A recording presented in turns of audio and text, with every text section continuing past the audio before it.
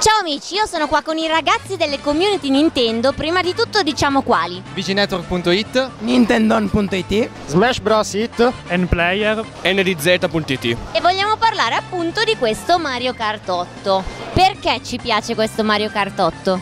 Perché è graficamente spettacolare ed è divertentissimo. Perché c'è l'antigravità e perché è troppo divertente. perché ci sono piste nuove e nuove meccaniche. perché avevamo bisogno di un gioco forte per il Wii U e questo sicuramente riuscirà ad attirare più persone. Perché è un gioco diverso, ma è sempre Mario Kart. Qual è la cosa più bella che è stata introdotta? La gravità. La gravità. La gravità? Un solo oggetto per giocatore. Sì, anche sono d'accordo con Fenor, almeno c'è più strategia. È il nuovo feeling di guida. E invece io voglio sapere da quale videogioco avete iniziato Mario Kart? Mario Kart 64 Quello per SNES, io. Mario Kart Double Dash per GameCube. Per GameCube. 64. Super Mario Kart. Mario Kart Wii, sono l'eretico. Quindi questo Mario Kart 8 è piaciuto a tutti, qui intanto parlano, parlano, perché è uno dei videogiochi più parlati del momento. Che altro dire? Venite a provarlo ai tornei Video Games Party.